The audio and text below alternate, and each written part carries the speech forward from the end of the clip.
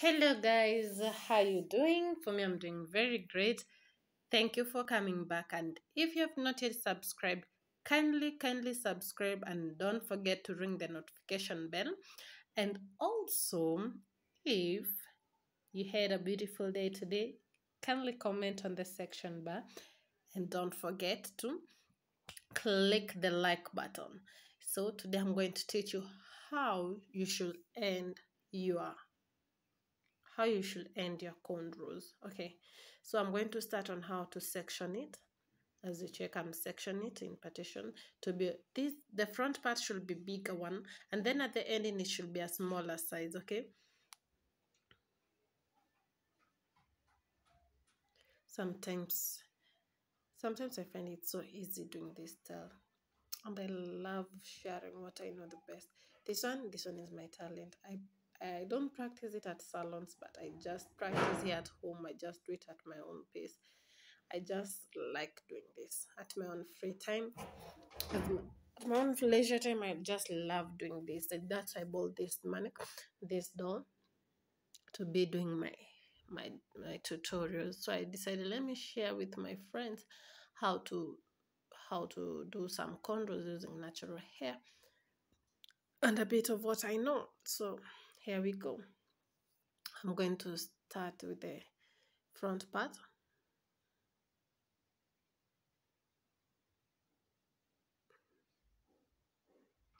I'm going to bring the hair together there behind her and then I hold it with my clip. I decided to buy the, a new clip. I never had a clip. I used to use a rubber band and a hairband, so I bought a new clip the bigger one the bigger one is better one because it captures all the hair into one. So that when i capture this hair it won't i won't be i won't borrow the hairs from the from the from the uh, i want to borrow hair from the ones which i've clipped. Because when i borrow hair from the ones which i've clipped my work will look so and, and dirty. It will not look clean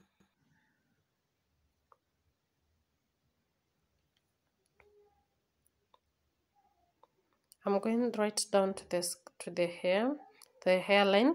Make sure that if the customer has uh, or the person you're plating has baby hair, please don't pick those baby hairs. Don't don't strain those baby hairs, please.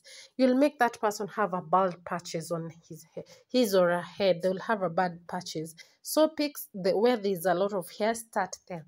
Please don't pick the small unless if you're going to start with the baby hairs please don't tighten them.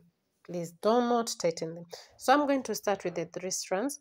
I'm going to use my fingertips to hold down to the scalp down to the scalp not to the root, hairs down to the scalp so that you can cannot uproot the hair. So just down to the scalp where the hair starts with that one which is contact with the skin and the the skin the hair that is contact with the skin is the one which you're going to pinch with your fingertips. And then when you're plinting, please slide it, slide it, slide it, or just go down to the scalp. If not sliding it as in sliding, just go down to the scalp, pinch to the scalp, and then flow like that. Don't don't go straight straight up up like you're doing braids. No, just downwards. Just follow the line, the section that you have used and then you have started from the start is there you're going to end it. So you're going to do it to the scalp. Pinch it to the scalp. Flow like that to the scalp. Don't don't don't don't straighten it just to the scalp. This person of mine has a lot of hairs. I'm grateful for this person oh, because this person i just use it at my leisure time when I'm free, I just pick this hair, just do my thing, just learn new styles with it, the ones which I don't know. And the ones which I know, I just share it with you because when you get to know the the cornrow, you'll get to do any style that you want, any any partitioning of style that you want to partition a flower, any design that is on your head and you want to implement it on somebody's head. If you get to know about this, cornrows, how to do cornrows, it will be easy for you to do many styles that you want to do, many styles that a customer wants to do, or many styles that you want to do. Butterfly, love, hearts, name them zigzag. you'll know how to design your own hairstyle or customers hairstyles desires when you know how to do the control. just learn how to get it from the scalp to plait it down downwards and how to end it because the ending also matters because when you end it anyhow hmm, your work will just look pathetic. So if you don't want your work to look pathetic please do it as desired. As you can see mine has ended very beautifully. I'm going to do end it like this one but the second one will not end like this one. The second one will a bit end upper a little bit upper because i have not uh section it here down the way it should be sectioned. When you section it to the desired section like bigger smaller smaller till to the nape of the neck then you'll get something beautiful. So this one i'm going to show you when it is not well sectioned. You'll see how it will go into end. It will go to end a little bit higher a little bit lower than the first line okay? Let me show you keen on how you see how I'm, adding hair? When you add hair like that by taking and adding you're not going to have a good ending. Don't do what i've done. Don't pinch and add pinch then add no. Just pinch it when you're continuing to plait. Because when you do that is when you're going to have a beautiful flow. Even if you'll just pick one strand that one is better off than picking many strands and then having a bad ending watch it yeah like that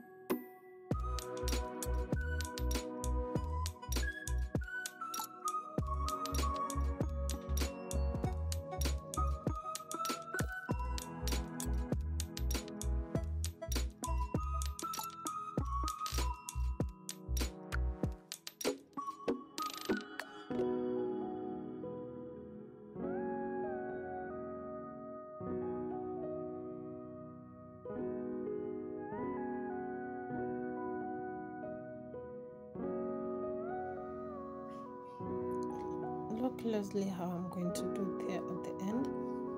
It may not be so much clear, but at least the hair is a lot. As you can see, the second hair was not a lot, but this one is a bit many, many, much, many. It's a lot. I'm going to pick bit by bit, adding it to the, adding it to the section, to the, the plenty, to the ones which, are, the one which I've, to the one which I've held with my fingertips. I'm going to add bit by bit. Just watch it closely how i'm doing it. I'll be doing it in slow motion so that you can see what i'm doing. I'm not going to add more hair to it. I'm going to add a little you see i've picked a little hair. Then made a knot added the hair to it. I'm going to add hair to this one that i've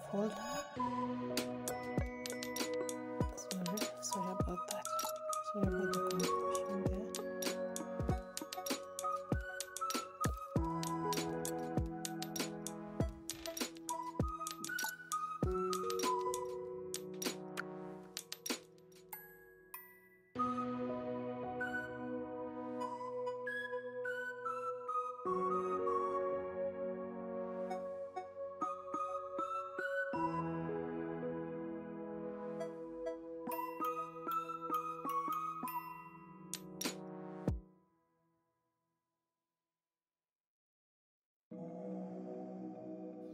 kindly do not forget to subscribe or if you have not yet subscribed kindly just subscribe and watch until the end so that you can be able to see how I'm going to finish it till to the neck of the neck. Just watch closely how I'm going to finish it just to the neck of the neck until from there it's going to reach until 12 point 12.2 12.26 there where reach and you can see? If you want to skip it you can skip to that point. But now check it how I'm going to end it. Picking it bit by bit. Look at that one. That's a small piece but I'm going to divide it into three. That one should come out three pieces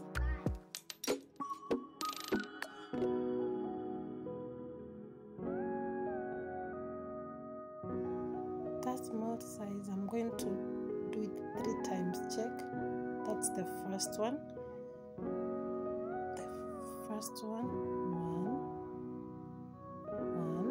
You see one? It's very small eh? so that it can go straight to the nape of the neck. Okay. Then i'm going to do the second one watch closely. The second one. Have you seen it? Just a small one. That one is so when i come here back to the back part i'm going to use those small sizes that you have seen me taking. Then i'll finish up with the I'm going to do it i guess it's the fourth one. Four times okay that's the third one. Then the fourth one and finish up with that on the fourth one. To be the last one there. So that it can go and then i'll not lift it until i finish to the scalp. I finish it down to the scalp very well so that it can be firm. When there behind is firm then your whole line is going to be firm. The whole contour will be going to be firm and strong. Remember do not over tighten it because when you over tighten it you're going to lead to hair loss. So don't over tighten it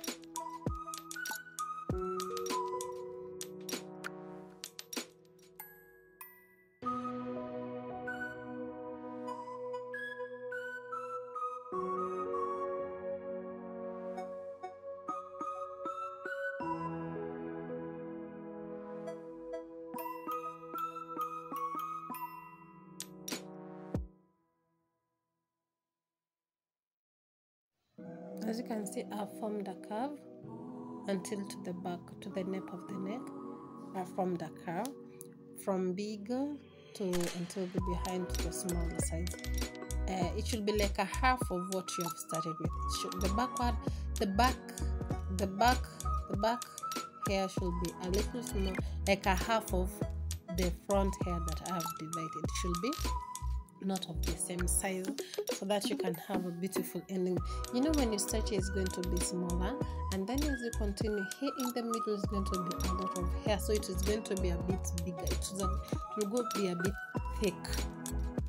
Yeah it was going to be a bit thick because there it's there is a lot of hair in this part. A lot of hair that hair will go until the behind which is going to add up to this small hair that you had section it to smaller size than the the beginning even than the middle part. The middle part is a lot of hair than the front part and than the back part. So your hair from the back from the back to the center to the front should not be of the same size.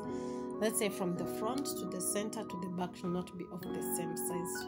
So there should be three different sizes. As you can see i'm using my fingertips. I'm not removing my fingertips. When i I lift the other hand. I'm making sure the left hand is down to the scalp, holding the hair down to the scalp, and then as the other one moves, removes the uh, as the other one removes the tangled hair, the other one remains down to the scalp. See, the left the re- left hand I've removed. I've remained with the right hand holding down the. Check it out. Le- the right hand is detangling the hair, while the left hand is holding the hair and then you find that the left hand is holding up the head into position to the position that you want the person to stay. So i'll continue that until to the end whereby i'll not lift my fingertips.